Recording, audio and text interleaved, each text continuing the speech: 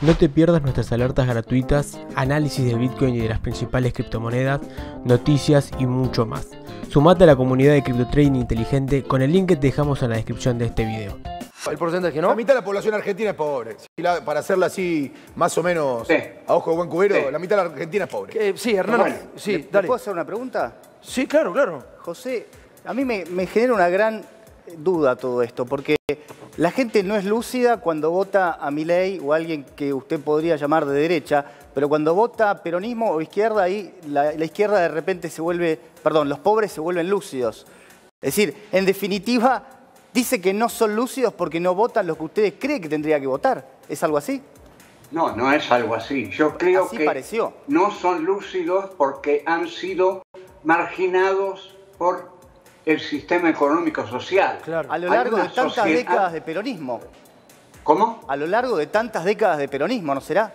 Está hablando Sí, de peronismo, ojo, de peronismo y de otros partidos y los militares también. Claro, Acá claro. desde el 55 en adelante. Claro, claro, digamos, no- a ver, hay, hay que ser sincero en esto, digamos. Los militares fueron los principales responsables, Bociano, digamos, de toda esta Claro, está bien, pero si vamos a hacer revisionismo histórico, hablemos de, vamos a decir, de, de qué año vamos a decir. Los últimos 30 años fueron todos peronistas, salvo el gobierno macrista, que tampoco suscribo, te imaginarás. Bueno, bajó bastante la pobreza Lo que te quiero decir No, es que de no, repente Miguel. los pobres, cuando los pobres, entonces, acá el razonamiento pareciera ser paradójico. que los pobres tienen que votar peronismo Pero, o Miguel, izquierda. no, no, ¿A Miguel. ustedes les molesta que, ¿sabe lo- Por eso te decía recién, cuando Sí. Elisa Castro le molestaba decir que no hay derecha e izquierda. Yo lo que digo es que el pobre no sabe si es derecha o izquierda, está escuchando algo y en definitiva lo que está escuchando es algo que tiene sentido y que puede darle una posibilidad y una esperanza de hacer Un crecer. pobre votando a la pobre- derecha es un suicidio, Miguel, pero eso es un concepto tuyo, Tomás, porque al final lo que te está mostrando del otro lado Sí. es que hay alguien que piensa y que no es que lo llevan con un choripán a votar Sí. y que lo hacen votar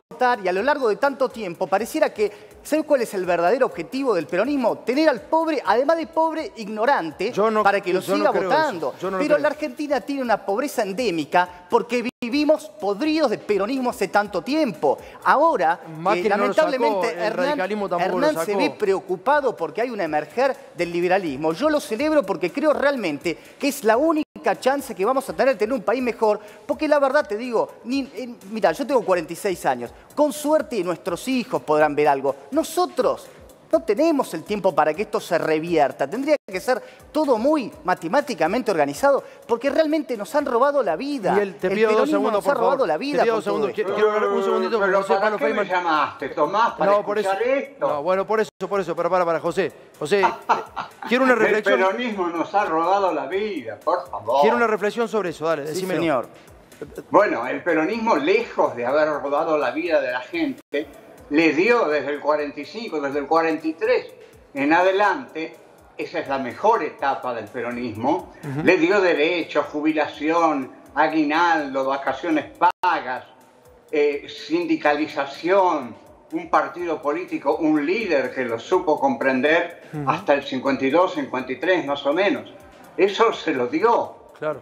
Fueron años felices esos del peronismo. Después el peronismo pasa a la resistencia.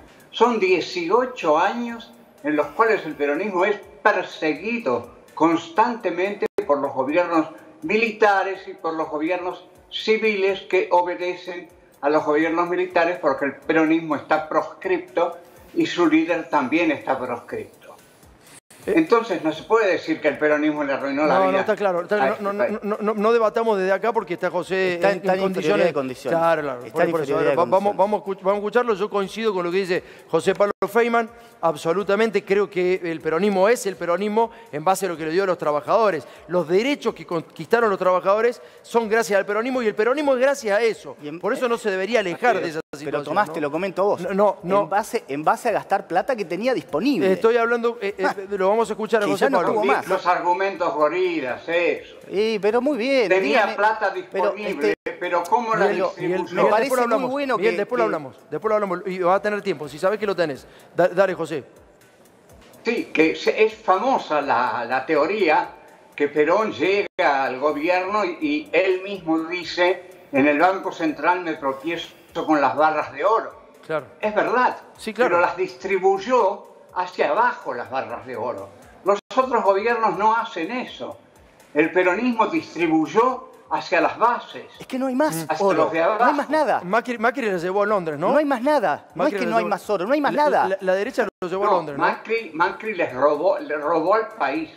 Ah. Macri robó al país contrayendo una deuda impagable que nos condena a todos y además no tuvo la más mínima sensibilidad social. Mm.